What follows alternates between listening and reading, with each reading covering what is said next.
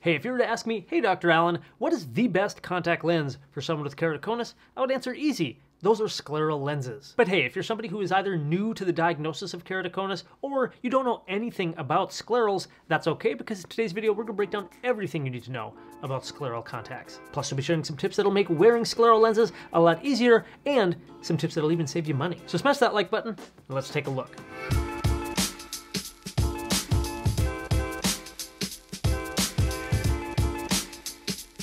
Hey Eyes and Shine, Dr. Allen here from the Dr. Eye Health Show, helping you see your very best today and also tomorrow. Now, if you're somebody who's never heard of scleral lenses before, scleral contact lenses are known as the large contact lenses, and they differ from soft contact lenses in that they are also a gas permeable material. They are not soft and flimsy and can turn inside out. No, these are more of a rigid contact lens that holds its shape. The reason they are called scleral contact lenses is because where other lenses like the soft lenses or gas permeable contact lenses like RGPs, those ones typically rest on the cornea. They make physical contact with the front window to the eye.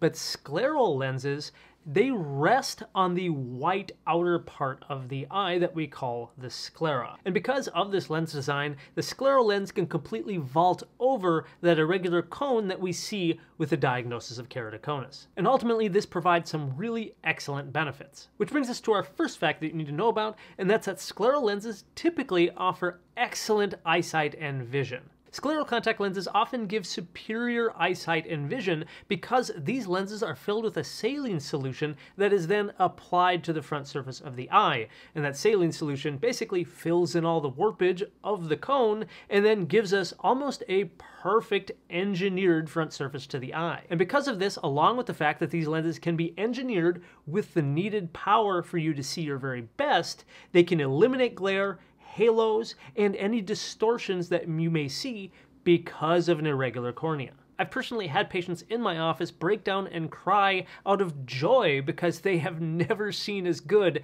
as I've been able to get them with a scleral contact lens. The second thing you need to know about sclerals is that they also have an extra benefit if you happen to be somebody who suffers from dryness and irritation of your eyes. Again, because these scleral lenses are filled with a saline solution, which is applied to the front surface, it's basically bathing the front of your eye in your tears. And this can be really helpful for people with dry eyes and other healing issues on the surface of their eyes. So you kind of get a double whammy, not only better vision, but also helping treat dry eyes at the same time. And fact number three is that because these lenses are made of a rigid gas permeable material, if they're well taken care of, and assuming your prescription doesn't change very much, then these lenses can last a long time. In fact, they can last multiple years, again, if they're well taken care of. Now, while scleral lenses have all these amazing benefits, there are some downsides to getting fit with these lenses that I think you should know. The fourth fact about scleral lenses is that these lenses take a lot longer time to fit. Scleral lenses are in fact a 100% custom fit lens for you and each of your eyes. Because the fit of scleral lenses is so technical, and the fact that your doctor has to have it fit on each quadrant of your eye just right, and then the prescription of the lens has to be adjusted, and the height of the lens has to be adjusted, there's a lot of just small calculations that need to be made. I think it's just wise to understand it's going to take a little bit longer for not just your doctor to get all the proper measurements, but then to order the lens, have it custom made for you, have it shipped back, and then your doctor to fit it on your eye, make more adjustments, and it's not unusual for that to have to take a few tries. But again, it is a custom item, so just understand and expect that it's not going to be like an overnight fitting process. It's going to take a little bit of time. Fact number five is that scleral lenses are, in a very general sense, a little bit more tricky to get in and take off of your eye. Because scleral lenses are of larger diameter and filled with a saline solution, they're a bit more tricky to get into the eye than like your standard soft contact lenses. And in my experience, I do see a lot of people just struggle early on with learning how to put them in and take them out, but that's exactly why I went ahead and made a tutorial video of how to put in scleral lenses, and if you do want to watch that, go ahead and click or tap the screen up over here to the side. Otherwise, again, I'll put it in the description below, below that like button. Fact number six is to expect that these contact lenses are going to be more expensive.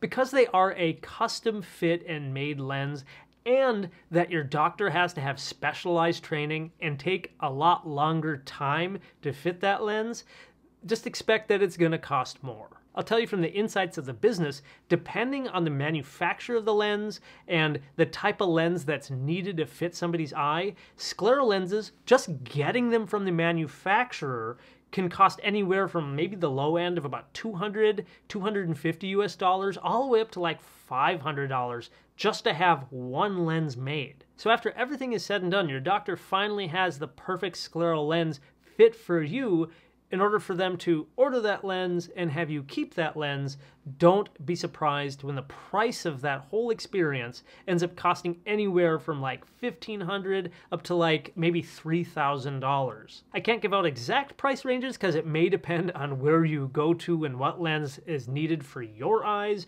but I'm just trying to give a general ballpark so that you, you understand what, what you're going to be getting into and what you're investing in. But my pro tip to you is to check with your medical insurance policies and any vision discount plans that you may have, especially if they're offered through an employer, because a lot of these plans do have specialized discounts or coverage for medically necessary contact lenses. And if you happen to be somebody with keratoconus or really advanced irregular astigmatism, then oftentimes you may qualify under these programs and you may get these lenses completely covered by these insurances. And fact number seven is that scleral lenses do require more care and maintenance to take care of those lenses. Scleral lenses are made of a gas permeable, more rigid contact lens material, so they're not like the soft lenses like I wear that I can just take them out at night and put a new one in the next day. No, these lenses have to be taken out, cleaned, and disinfected. And depending on what lens your doctor chooses for you and what will work best with your eye health, your doctor may recommend one of the several different cleaning and disinfecting products for those lenses on the market. So if you're not sure what your doctor recommends for you, definitely ask them or a staff member at their clinic. So those are the seven facts about scleral contact lenses for keratoconus that I thought you needed to know about.